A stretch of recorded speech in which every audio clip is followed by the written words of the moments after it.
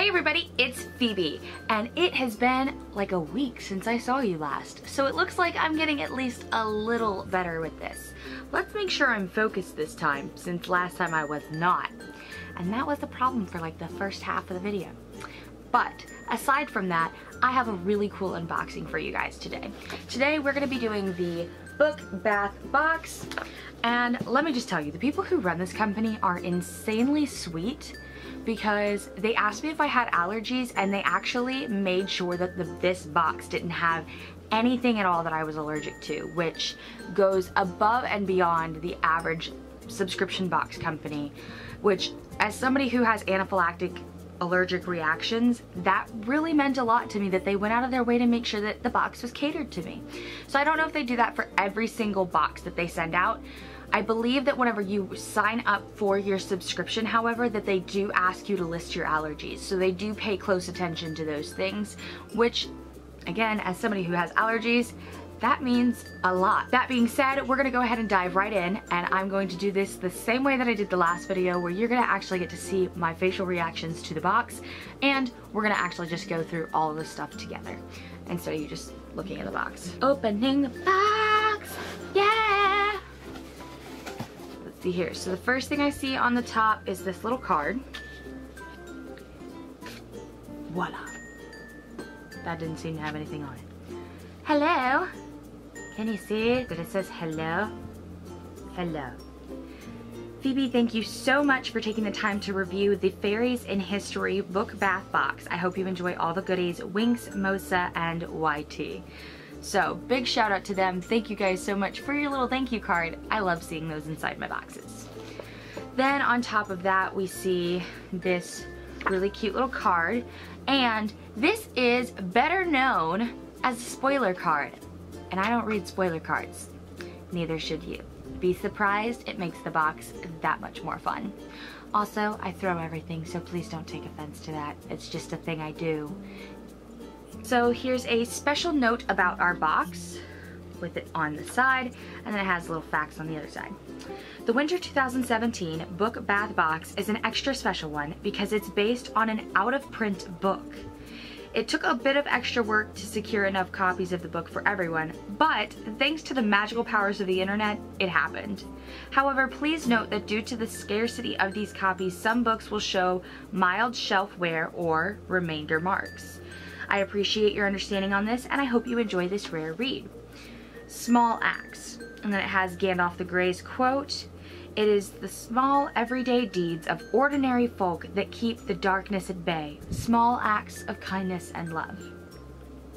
For every winter box that it was sent out, Book Bath Box is donating, donating $1 to In Other Words, a nonprofit bookstore and resource center in Portland, or Oregon? OR, I believe, is Oregon. Thank you for making this possible. Discounts. Post photos of your box on Instagram. Tag at BookBathBox and use the hashtag BookBathUnboxing tag. Three photos will be chosen to be featured on the BookBathBox.com and the winners will receive a discount code for $5 off anything from BookBathBox or post a blog review or unboxing video, mention at BookBathBox in a tweet with the link and you will receive a discount code for 10% off your next order at bookbathbox.com. Big mouthful, but definitely worth it. And I'm noticing that subscription boxes are more often, especially with smaller companies, are coming with business cards in them, which I've never seen before until recently. And I think that's a really, really smart idea. So Winks is the creator and that has her email on it in case you need to contact her for any reasons whatsoever. Oh my god, the first thing I see is a candle. Mm, I love candles. Home and Hearth. There you go, Home and Hearth. And it is a white candle. White candle. And it looks really good, so let's find out if it smells good. Oh, it smells amazing. Can I make it a necklace and just light it on fire and walk around smelling this all day? Probably not because the wax would drip out the side and go down my chest and burn me and scar me and that would be depressing, but still smells really good. we have worms.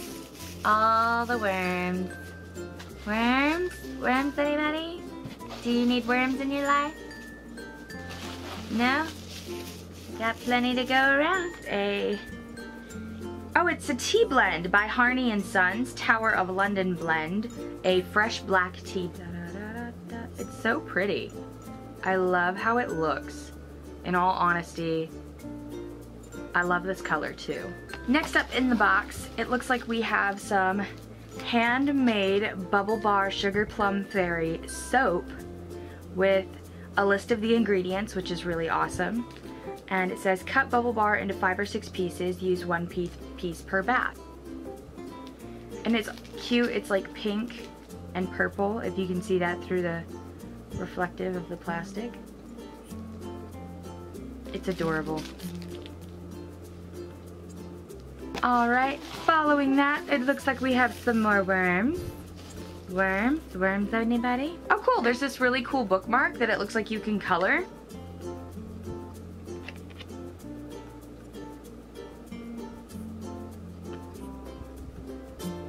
It's definitely quality, it's like a cardstock, and it's actually a Society 6 item if you can read that right there. Last but not least, we also have the book, which is wrapped in like wrapping paper, like um, tissue paper, which is a really cost-effective way to keep the book a surprise, which I love. Oftentimes, larger companies that have more of a financial capability to do so, they tend to put their books in bags, which as awesome as that is, it can tend to be very costly for newer and blossoming companies. So this is a really cool way to keep it a surprise. Let's go ahead and dig on it. It's really pretty. It's called Midnight Never Come by Marie Brennan. It's a paperback, which I don't mind. I mean, I always prefer hardcovers, but that's just me. But paperbacks are still glorious. So long as they're well taken care of. And this doesn't have any damage to the spine whatsoever. Yeah, no damage on that spine. And look how gorgeous that cover is. How could you not love this cover? It almost looks like wings on both sides, which totally makes sense because it's fairies and history, duh. Let's go ahead and read the synopsis for this. England flourishes under the hand of Elizabeth I, last of the Tudor monarchs. But a great light casts a great shadow. In hidden catacombs beneath London, a second queen holds court, Invidiana, ruler of fairy England, and a dark mirror to the glory above. In the 30 years since Elizabeth ascended her throne, Fae and mortal politics have become inextricably entwined in secret alliances and ruthless betrayals whose existence is suspected only by a few. When the fairy Lady Lune is sent to monitor and manipulate Elizabeth's spymaster, Walsingham, her path crosses that of Michael Deven, a mortal gentleman and agent of Walsingham's. His discovery of the hidden player in English politics will test Lune's loyalty and Deven's courage alike. Will she betray her queen for the sake of a world that is not hers? And can he survive in the Machiavellian world of the Fae? Only together will they be able to find the source of Invidiana's power. Find it and break it. I don't know about you guys, but this book sounds really amazing to me. And I love fae folk, fairies, all of them alike. They're pretty much the same thing, just depends on what you'd like to call them. Tomato, tomato. Either way, I'm really excited to read this book. I haven't read a fairy book in a while, so this is gonna be a good read for me. Of course, as you can tell, I'm surrounded by books, so I have plenty of things on my TBR I'm hoping to get to this one somewhat soon, and it looks like there is actually a sequel, if you guys can catch that. And it's called Marie Brennan in Ashes Lie. Marie Brennan is obviously the author to the book, and I like I said before, am really looking forward to reading it.